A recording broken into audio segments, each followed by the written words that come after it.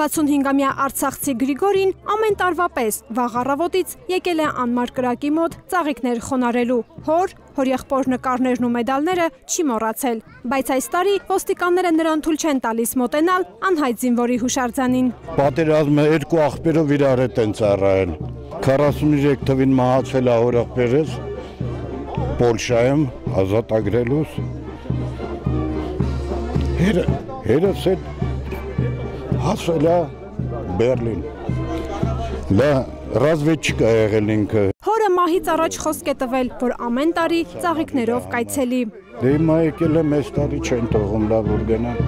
բայց պետք է գնամ անպայման։ Պաշտպանության նախարարության պահեստազորի փոխգնդապետ Տիգրան Չոպանյանը վստահ է, որ այս հաղթանակները կոտրեցին այն բոլոր կարծրատիպերը, որ փոքր պետությունը, փոքր ազգը չեն կարող հաղթել հզորներին, մեծաքանակներին։ Երատոն է եւ ես այդ տոնի մասնակիցներից մեկն եմ եւ դրա մասնիկն եմ կազմում։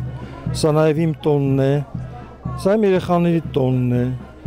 Սա իմ տատիկների, պապիկների տոնն է։ Քաղաքացիները, հասարակական կազմակերպության ներկայացուցիչները երկու ժամ սպասեցին, նաև վեճի բռնվեցին ոստիկանների հետ, բայց սահմանափակումը բոլորի համար է։ Խնդրեցին ոստիկաններին կոնը իրենց բերած ծաղիկները դնել անմար կրակի մոտ։ Կոմունիստական կուսակցությունը եւս այստեղ էր հարգանքի турք մատուցելու, բայց նրանց էլ թույլ չտվեցին պատնեշից այն կողմ անցնել։